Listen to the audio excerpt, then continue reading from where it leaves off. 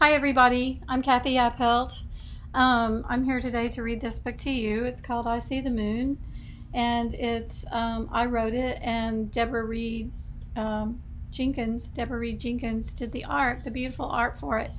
This book is based on an old nursery rhyme called I See the Moon, and the Moon Sees Me. And um, my husband's grandmother used to sing she would kind of sing and chant the nursery rhyme to us when we would go to visit her. And so the rhyme reminds me of her. And um, and it's just an old rhyme that I've loved and loved forever. And so I um, turned it into a larger a larger piece of of poetry. And Deborah Reed Jenkins did a beautiful job with the art. So um, I'm going to read it to you, okay? I'll do my best anyway. So here's the cover page. I see the moon. And I dedicated it to my mother-in-law and father-in-law, Wilma and Harold. And one of the best parts about writing a book is getting to do the dedication because it's always like a present. You know, I like to think of it as a gift to somebody I love. Anyway, so here we go. I see the moon, and the moon sees me. Does anyone know I'm alone here at sea? My boat is so tiny, and the waves are so tall. Who could be listening?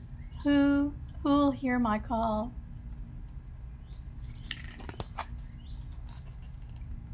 I watch the stars from the bow of my craft.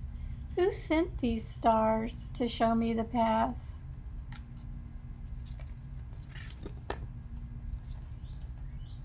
I feel the wind with its whispery tail. Who told the wind to fill up my sail? I see the dark is rolling away. Who brought the sun to meet me this way? I hear the dove with her song on the wind. Who sent the dove to lead me back in?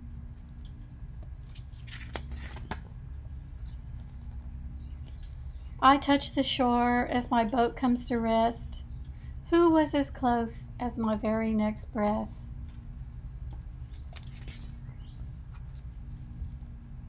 When I set sail again, here's what I'll know that God will be with me wherever I go.